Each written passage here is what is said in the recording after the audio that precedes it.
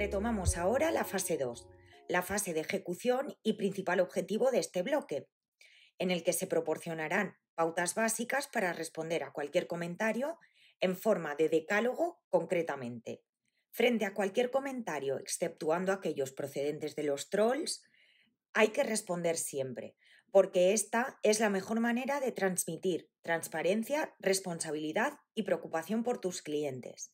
Para preparar tus respuestas es importante distinguir los tipos de comentarios. Por un lado, la queja, que es una expresión de malestar ante la que el cliente espera una respuesta y hay que dársela. Y por otro lado, la crítica, que es un juicio o valoración particular acerca de la marca ante la que el cliente no necesita necesariamente una respuesta, por lo que con un gracias por su valoración tendremos en consideración sus comentarios, debería bastar. Para responder, ten en cuenta que esta debe producirse en la red social en la que se ha emitido y por la que se ha recibido el mensaje.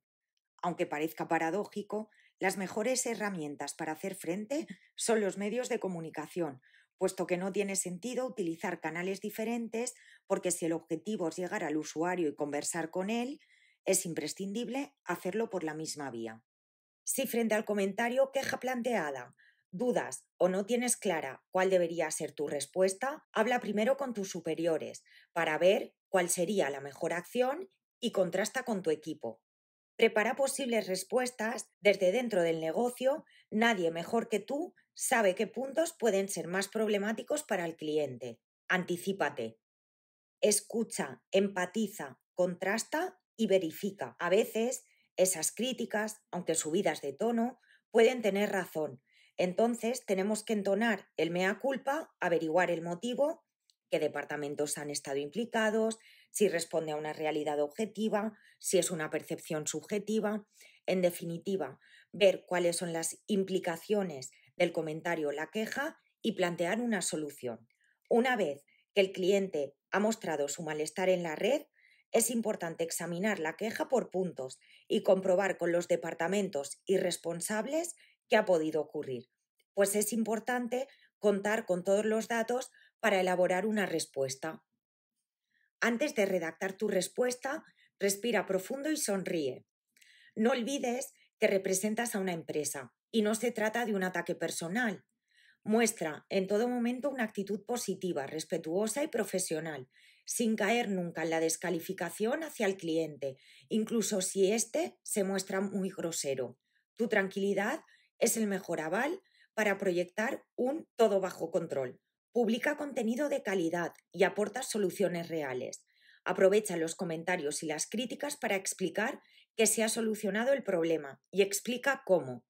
Expon las características de los servicios nombrados, indica si hay alguna novedad beneficiosa para la imagen de la organización, porque esto ayudará a contrarrestar los comentarios negativos y perjudiciales.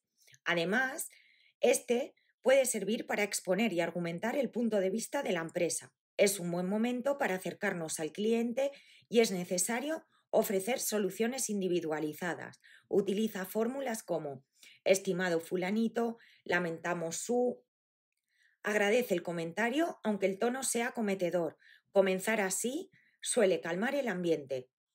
Pide disculpas si es necesario. El cliente no siempre tiene la razón, pero podemos pedir disculpas por las molestias. A veces simplemente con esto basta. Además, es importante manifestar siempre disposición por seguir mejorando, aprendiendo de los errores y enfatizar la voluntad por parte de la empresa para corregir el problema en el menor tiempo posible.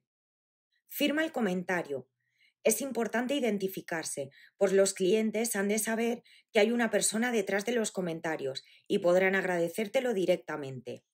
En este punto concluye la información relativa al bloque 3, a la que deseamos no tengáis que recurrir porque ello significará que todo está bien, pero que en caso de necesitarla os permita gestionar de la mejor manera cualquier comentario negativo, porque como indicaban Meyers y Olusa, las crisis presentan oportunidades al tiempo que desafíos, oportunidades que no se presentan en ninguna otra ocasión. Es importante aprovecharlas, tratar de darle la vuelta a la situación y gestionarlas para obtener beneficios.